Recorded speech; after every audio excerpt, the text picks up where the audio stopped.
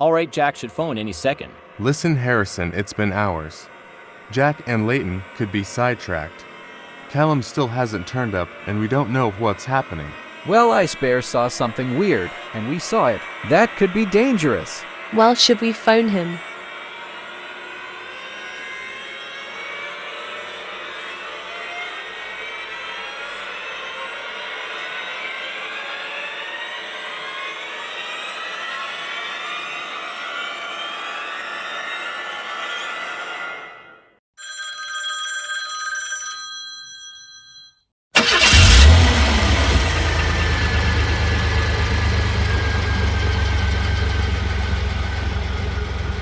All right, we have information. What is it? Is it good? Not good. This better be non dangerous. What if I said zombie? What?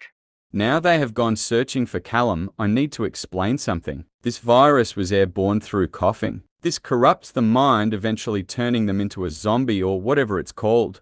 And the cure? I can only see if their cells mutated, making them an infected. Callum.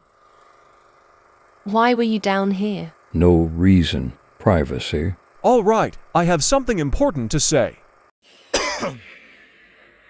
oh no.